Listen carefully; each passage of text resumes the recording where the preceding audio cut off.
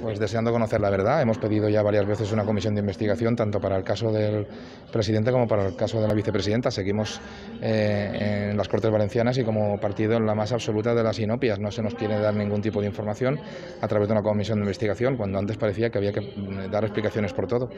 Eh, francamente sorprendido de esta actitud, eh, digamos, obstruccionista con respecto a las Cortes Valencianas, que creo que merecen un respeto, pues igual que los ciudadanos.